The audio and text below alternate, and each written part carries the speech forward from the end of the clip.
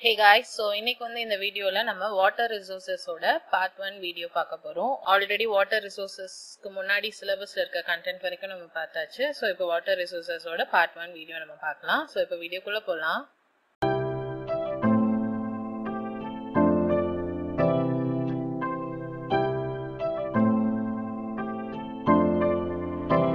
So first introduction பார்க்கலாம். So வாட்டருன்றது நம்மளுக்கு ஒரு மோஸ்ட் இம்பார்ட்டண்ட் எலமெண்ட்டாக வந்து இருக்கு. ஸோ அனிமல்ஸ் பிளான்ஸ் எல்லாமே வந்து சர்வே ஆகுறதுக்கு என்ன வேணும்னா வாட்டர் வந்து வேணும். ட்ரிங்கிங்க்கு மட்டும் இல்லாமல் வாட்டரை நம்ம டொமஸ்டிக் அப்புறம் அக்ரிகல்ச்சர் இண்டஸ்ட்ரியல் பர்பஸ்க்காகவும் நம்ம என்ன பண்ணுறோம் வாட்டர்ஸ் வந்து யூஸ் பண்ணுறோம் ஸோ வாட்டர்ஸ் அந்த எல்லா ஃபீல்டுக்குமே வந்து ரிக்வயர்ட் ஒரு ரிக்வயர்டாக வந்து இருக்குது ஸோ வாட்டருன்றது எல்லா எக்கனாமிக்கல் ஆக்டிவிட்டீஸை கேரி பண்ணுறதுக்கும் ஒரு எசென்ஷியல் திங்காக வந்து வாட்டர் வந்து இருக்குது ஸோ வாட்டர் வந்து இல்லாமல் வந்து லைஃப் வந்து ஏர்த்தில் இருக்கிறது வந்து ஒரு இம்பாசிபிளான திங்காக வந்து இருக்கு. ஸோ ஏர்த்தை வந்து நம்ம என்ன ப்ளூ பிளானட்னு சொல்லுவோம். ஏன்னா அது வந்து நிறைய அமௌண்ட் ஆஃப் வாட்டரை வந்து ஹோல்ட் பண்ணியிருக்கு அண்ட் மற்ற பிளானட்டை கம்பேர் பண்ணும்போது வந்து இது யூனிக்காக ஸ்டாண்ட் பண்ணுறதுனால இதை வந்து ப்ளூ பிளானட் அப்படின்னு வந்து சொல்லுவோம். ஸோ நம்ம ஏர்த் வந்து மொத்தம் நாலு ஸ்பியர்ஸ் வந்து இருக்கும். ஏர்த்தில் ஒன்று வந்து லித்தோஸ்பியர் இன்னொன்று வந்து அட்மாஸ்பியர் இன்னொன்று வந்து ஹைட்ரோஸ்பியர் அப்புறம் வந்து பயோஸ்பியர் ஸோ லித்தோஸ்பியர்ன்றது சாலிட் இயர்ஸ் அதாவது அதெல்லாம் டீல் பண்ணுறது அட்மாஸ்பியர்ன்றது கேஸ் ஹேரை ஹைட்ரோஸ்பியர்ன்றது வாட்டரு பயோஸ்பியர்ன்றது எல்லா லைஃபும் ஸோ இந்த நாலு ஸ்பியரை தான் நம்ம இயர்த் வந்து கன்சிஸ்ட் ஆகி இருக்கு. ஸோ அதில் ஹைட்ரோஸ்பியர்ன்றது ஒரு ஒன் ஆஃப் த ஸ்பியராக வந்து இருக்கு. ஸோ ஹைட்ரோஸ்பியர் எதெல்லாம் இன்க்ளூட் பண்ணோம்னு பார்த்தா water on the surface of the earth எர்த்ல earth சர்ஃபேஸ்ல இருக்க வாட்டரு அப்புறம் வந்து வாட்டர் பிலோ த சர்ஃபேஸ் சர்ஃபேஸ்க்கு பிலோவா இருக்க வாட்டர் அது என்னன்னு சொல்லுவோம்னா கிரவுண்ட் வாட்டர்னு சொல்லுவோம். And the water in the atmosphere above earth surface earth சர்ஃபேஸ்க்கு மேல அட்மாஸ்பியர்ல இருக்க வாட்டர் ஸோ எர்த் சர்ஃபேஸ்ல இருக்குது எர்த் சர்ஃபேஸ்க்கு கீழே இருக்குது எர்த் சர்ஃபேஸ்க்கு மேல இருக்குது. ஸோ இந்த மாதிரி இந்த மூணையுமே இன்க்ளூட் பண்றது தான் நம்ம என்னன்னு சொல்லுவோம்னா ஹைட்ராஸ்பியர்னு சொல்லுவோம். ஸோ ஓஷன் ரிவர் லேக்கு அப்புறம் வந்து கிளாஷியர்ஸ் இது எல்லாமே வந்துட்டு ஒரு ஃபார்ம் ஆஃப் சர்ஃபேஸ் வாட்டராக வந்து இருக்கு. அதே மாதிரி சர்ஃபேஸ்க்கு கீழேயும் வந்து நம்மளுக்கு வந்து வாட்டர் கண்டென்ட்ஸ் வந்து அதிகமாக இருக்கு. ஸோ அதுதான் கிரவுண்ட் வாட்டர்னு சொல்லுவோம். ஸோ அட்மாஸ்பியர்ல வந்து வாட்டர் வந்து மூணு ஃபார்ம்லயுமே வந்து இருக்கு. சாலிட்லயும் இருக்கு லிக்விட்லயும் இருக்கு அண்ட் கேஷியஸ் ஸ்டேட்லயும் வந்து இருக்கு. So total amount of water and the earth வந்து டைம் மாற மாற அது என்ன ஆகாதுன்னா சேஞ்சஸ் ஆகாது. வாட்டர் வந்து constantly in motion with in the sphere of the ear earth ஸ்பியர்ல வந்து கான்ஸ்டன்டா அது என்னன்னா மோஷன் ஆகிட்டே இருக்கு விச் இஸ் பீங் டிரான்ஸ்ஃபார்ம் ஆகும். அப்புறம் வந்து reused all over the earth ஒரு இதுல இருந்து இன்னொன்று போகுமே தவிர்த்து அது வந்து எப்படின்னா அது வந்து குவான்டிட்டி அமௌண்ட் வந்து சேஞ்ச் ஆக போறதே இல்லை. ஸோ இயர்த் ஹைட்ரோஸ்பியர் வந்து எப்படி ஆக்ட் ஆகுது ஒரு க்ளோஸ்டு சிஸ்டமா வந்து ஆக்ட் ஆகுது அப்படின்னு சொல்றாங்க. ஸோ இப்போ வாட்டர் வந்து ஏர்த்ல எவ்வளோ இருக்குன்னு சொல்லி பார்க்கலாம். ஸோ ஏர்த்ல வந்து seventy one percentage of earth surface is covered by water so ஏர்த்தோட seventy one percentage வந்து எதால கவர் ஆயிருக்குன்னு பார்த்தீங்கன்னா வாட்டரால கவர் ஆயிருக்கு. ஸோ குவான்டிட்டி பார்க்கும்போது three twenty six million cubic miles வரைக்கும் வாட்டர்ஸ் வந்து இருக்கு. ஸோ இப்போ பார்க்கும்போது மொத்தம் ஹண்ட்ரட் பர்சன்டேஜில் ninety seven point two percentage வந்து என்ன இருக்குன்னு பார்த்தீங்கன்னா சால்ட் வாட்டர் தான் இருக்கு. ஸோ ஃப்ரெஷ் வாட்டர் பார்க்கும்போது டூ பாயிண்ட் எயிட் பர்சன்டேஜ் தான் இருக்கு. ஸோ இந்த டூ பாயிண்ட் எயிட் பர்சன்டேஜ்லையும் சர்ஃபேஸ் வாட்டர் வந்து டூ பாயிண்ட் டூ பர்சன்டேஜ் போயிடும். பாயிண்ட் சிக்ஸ் பர்சன்டேஜ் தான் என்ன இருக்குன்னு பார்த்தீங்கன்னா கிரவுண்ட் வாட்டர் வந்து இருக்கு. ஸோ இந்த surface water two point two பர்சன்டேஜ்ல பார்க்கும்போது கிளேஷியர்ஸும் ice கேப்ஸ்ல two point one five percentage போயிடும். Other ஃபார்ம்ஸில் zero point zero four percentage போயிடும். லேக்ஸில் வந்து zero point zero one percentage வந்து போயிடும். நெக்ஸ்ட் வந்து கிரவுண்ட் வாட்டரில் பார்க்கும்போது ஜீரோ பாயிண்ட் சிக்ஸ் ஸோ அதில் வந்து என்னெல்லாம் இருக்குன்னு பார்த்தீங்கன்னா பாயிண்ட் டூ ஃபைவ் மட்டும் தான் நம்ம எக்கனாமிக்கலாக வந்து எக்ஸ்ட்ராக்ட் பண்ண முடியும். மற்ற பர்சன்டேஜை வந்து நம்ம எக்கனாமிக்கலாக எக்ஸ்ட்ராக்ட் பண்ண முடியாது. வாட்டர் ரிசோர்ஸ்ன்றது ஹியூமன்ஸ் வந்து ஒரு யூஸ்ஃபுல் திங்காக வந்து இருக்கு. ஸோ வாட்டர் இந்தியாவில் வந்து மூணு சோர்ஸில் அவைலபிளாக இருக்கு. என்னெல்லாம் பார்த்தீங்கன்னா பர்சிபிடேஷன் இன்னொன்று வந்து சர்ஃபேஸ் வாட்டர் இன்னொன்று வந்து கிரவுண்ட் வாட்டர் ஸோ வந்து ஹைட்ராலஜிக் சைக்கிள் இல்லைன்னா அதை வந்து வாட்டர் சைக்கிள் சொல்லுவாங்க. வாட்டர் சைக்கிள்னா வாட்டர் வந்து எப்படி நம்மளுக்கு வந்து இரு கிடைக்குது. ஸோ மூணு ஃபார்மில் இருக்குன்னு சொல்கிறோம் அதோட குவான்டிட்டி வந்து மாற போறது இல்லைன்னு சொல்றோம். ஸோ அது வந்து எப்படி நடக்குது அப்படின்னு சொல்லிட்டு பார்க்க போறோம். ஸோ ஹைட்ராலஜின்றது என்னன்னா ஒரு சயின்ஸ் அது எதை டீல் பண்ணுதுன்னு பாத்தீங்கன்னா வாட்டரோட வேரியஸ் ஆஸ்பெக்ட்ஸை வந்து டீல் பண்ணுது. எதுலாம்னா அது எப்படி அக்கர் ஆகுது? டிஸ்ட்ரிபியூஷன் ஆகுது மூமெண்ட் அண்ட் அதோட ப்ராப்பர்ட்டிஸ் இது எல்லாத்தையும் டீல் பண்றதை நம்ம என்னன்னு சொல்றோம்னா ஹைட்ராலஜி அப்படின்னு வந்து சொல்றோம். ஸோ வாட்டரோட அவைலபிலிட்டி ஏர்த்தில் பார்த்தீங்கன்னா யூனிஃபார்மாக இருக்காது. யூனிஃபார்மாக வந்து வாட்டர் வந்து ஸ்ப்ரெட் ஆகி இருக்காது. சில பிளேஸில் வந்து வாட்டர் கண்டென்ட் வந்து அதிகமாக இருக்கும். சில இடத்துல வந்து வாட்டர் ரிசோர்சஸ் வந்து கம்மியாக இருக்கும். ஸோ ஹைட்ரோலாஜிக் சைக்கிளை வந்து ஒரு குளோபல் சன் டிரைவன் ப்ராசஸ்ன்னு சொல்கிறாங்க ஸோ என்ன பண்ணணும்னா இது வாட்டரை வந்து டிரான்ஸ்போர்ட்டட் ஃப்ரம் ஓஷன்லேருந்து டு அட்மாஸ்பியர் மறுபடியும் அட்மாஸ்பியர்லேருந்து லேண்ட் வரும். சிறுமி லேண்ட்லேருந்து எங்கே போகும்னா ஓஷன் போகும். ஸோ இது மாதிரி ஒரு கண்டினியூஸ் ப்ராசஸ் தான் வந்து இருக்குது ஸோ இது என்னன்னு சொல்கிறாங்கன்னா ஒரு க்ளோஸ்டு சிஸ்டம் ஃபார் த இயர்த்தா வந்துட்டு இந்த வாட்டர் சைக்கிள் வந்து ஆக்ட் ஆகுது. ஸோ இது எப்படி நடக்குதுன்னு பார்க்கும்போது சர்ஃபேஸ் வாட்டர்லேருந்து எவாப்ரேஷனும் பிளான்ட்லேருந்து டிரான்ஸ்பிரேஷனும் நடக்கும். இந்த வாட்டர் வேப்பர்ஸ் என்ன ஆகும் ஹை ஆட்டிடியூட்ல போய் கண்டென்ஸ் ஆகும். கண்டென்சேஷன் நியூக்ளியர் மூலமா. அங்க கண்டென்ஸ் ஆகி என்ன ஃபார்ம் ஆகும்னு பாத்தீங்கன்னா கிளவுட் வந்து ஃபார்ம் ஆகும். ஸோ இந்த கிளவுட் என்ன ஆகும் மெல்ட் ஆகி நம்மளுக்கு என்ன கொடுக்கும்னா பர்சிபிடேஷன்ஸ் வந்து கொடுக்கும். மழை வந்து கொடுக்கும்.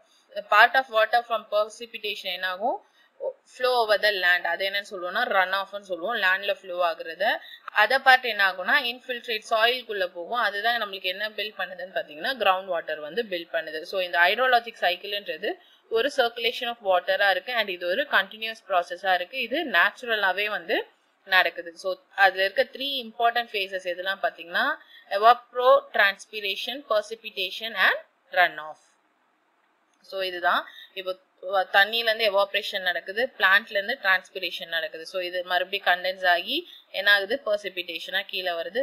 பாதி வந்து ஓஷன் போகும் பாதி வந்து சர்ஃபேஸ் வாட்டராக இருக்கும். சிலது வந்து உள்ளே போய் நம்மளுக்கு கிரவுண்ட் வாட்டர் வந்து ஃபார்ம் ஆகும். ஸோ இதுதான் வந்து வாட்டர் சைக்கிளாக வந்து இருக்கு. ஸோ நெக்ஸ்ட் வந்து ஹைட்ரோலாஜிக் சைக்கிளோட காம்பனன்ட்ஸ் என்னென்னு பார்க்கலாம். ஸோ இதில் வந்து சிக்ஸ் மேஜர் காம்பனன்ட்ஸ் இருக்கு. ஒன்று வந்து எவாப்போ டிரான்ஸ்பிரேஷன் ரெண்டாவது கண்டென்சேஷன் மூணாவது வந்து பர்சிபிட்டேஷன் நாலாவது வந்து இன்ஃபில்ட்ரேஷன் அஞ்சாவது வந்து பர்குலேஷன் லாஸ்ட் வந்து ரன் ஆஃப் ஸோ ஃபர்ஸ்ட் வந்து எவாப்போ டிரான்ஸ்பிரேஷன்னா என்னன்னு பார்க்கலாம்.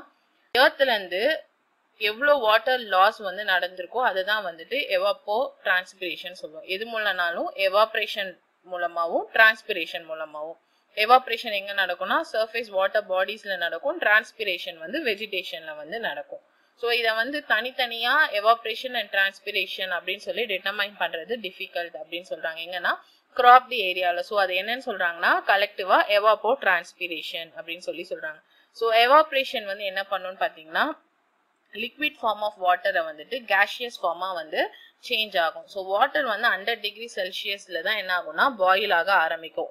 அண்ட் அது எப்போ எவாப்ரேட் ஆகும்னா ஜீரோ டிகிரி செல்சியஸில் வந்து எவாப்ரேட் ஆகும். ஸோ இந்த ப்ராசஸ் வந்து ரொம்ப ஸ்லோவாக தான் நடக்கும். ஸோ டெம்பரேச்சர் தான் அதோட ப்ரைம் எலமெண்ட்டாக இருக்குது அண்ட் அது மட்டும் இல்லாமல் aerial extents of surface water wind atmospheric humidity இது எல்லாமே வந்துட்டு இந்த எவாப்ரேஷன் ரேட்டை வந்து அஃபெக்ட் பண்ணுறதா வந்து இருக்குது ஸோ நிறைய ஸ்டடீஸில் என்ன சொல்றாங்கன்னு பார்த்தா ocean sea lakes and rivers தான் வந்து நைன்டி பர்சன்டேஜ் ஆஃப் மாய்ஸ்டர் வந்து அட்மாஸ்பியர் அதாவது எவாப்ரேஷன் மூலமா கொடுக்குது. மற்ற டென் பர்சன்டேஜ் தான் டிரான்ஸ்பிரேஷன் மூலமா கொடுக்குது அப்படின்னு சொல்லி சொல்றாங்க. அப்புறம் வந்து குளோபல் ஸ்கேலில் என்ன சொல்றாங்கன்னா எவ்வளோ அமௌண்ட் ஆஃப் வாட்டர் வந்து எவாப்ரேட் ஆகுதோ அதே அமௌண்ட் ஆஃப் வாட்டர் வந்து பர்சிபிட்டேஷன் மூலமா திரும்பி ஏர்த்துக்கு வந்து டெலிவர் ஆகுது அப்படின்னு வந்து சொல்றாங்க. ஸோ எவாப்ரேஷன் வந்து எப்பயுமே வந்து ஓஷன் ஏரியால வந்து அதிகமாகவும் லேண்டில் வந்து கம்மியாக இருக்கும். அதுவே வந்து பர்சிபிட்டேஷன் லேண்டில் அதிகமாகவும் ஓஷன் ஏரியாஸில் வந்து கம்மியாகவும் வந்து இருக்கும் அப்படின்னு வந்து சொல்கிறாங்க ரேட் ஆஃப் எவாப்ரேஷன் வந்து விண்டி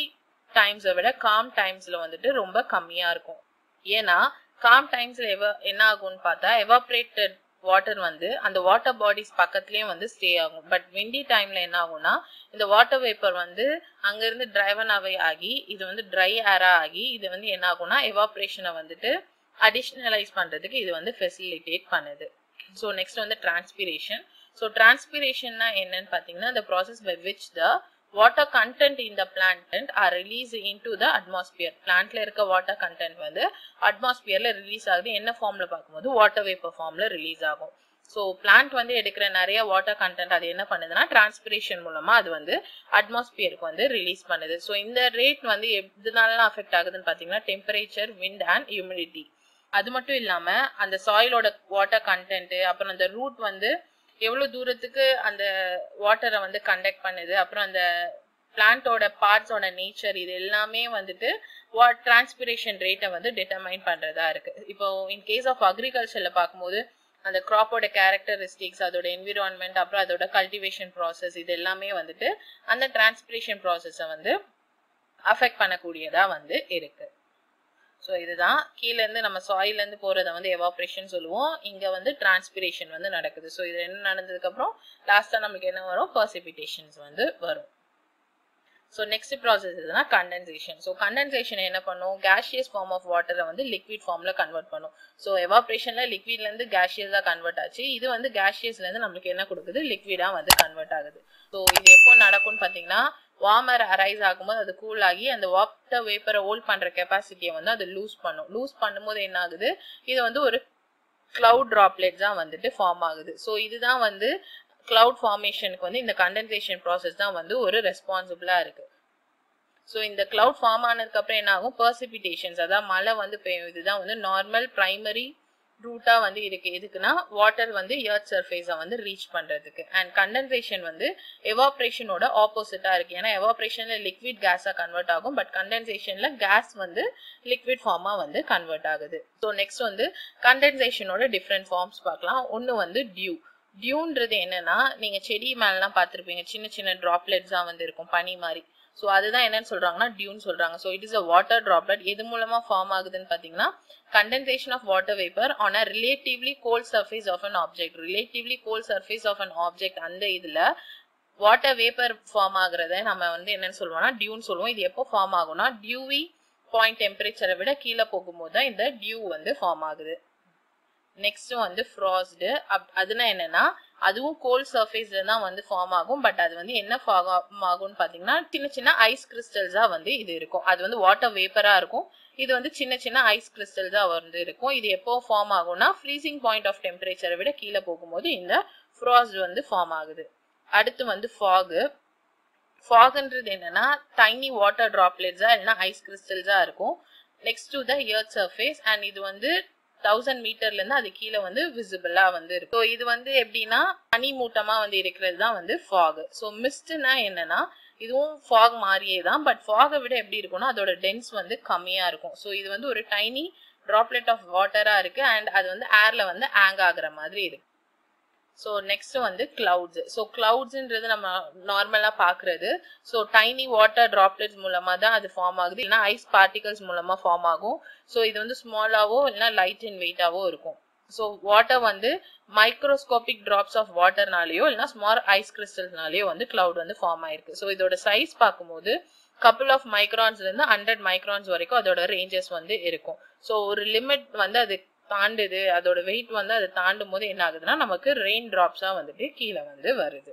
ஸோ இது இந்த வீடியோவில் வந்துட்டு நம்ம வாட்டர்னா என்ன அதோட இம்பார்ட்டன்ஸ் அதோட டிஸ்ட்ரிபியூஷன்ஸ் எல்லாமே பார்த்துருக்கோம். ஸோ இந்த வாட்டர் சைக்கிளில் வந்துட்டு எவாப்போ டிரான்ஸ்பிரேஷனும் கண்டென்சேஷன் வந்து பார்த்துருக்கோம். மீதி இருக்கிறத நம்ம வந்து நெக்ஸ்ட் வீடியோவில் பார்க்கலாம். அண்ட் அடிஷ்னலாக எங்கெங்கே வாட்டர்ஸ் இருக்குது அப்படின்றதையும் நம்ம வந்து நெக்ஸ்ட் வீடியோவில் வந்து பார்க்கலாம். ஸோ இந்த வீடியோ உங்களுக்கு கிளியராக புரிஞ்சிருக்கும்னு நினைக்கிறேன். இந்த வீடியோ உங்களுக்கு பிடிச்சிருந்தா லைக் பண்ணுங்கள் ஷேர் பண்ணுங்கள் என் மறக்காம என் சேனலை சப்ஸ்கிரைப் பண்ணுங்கள் தேங்க்யூ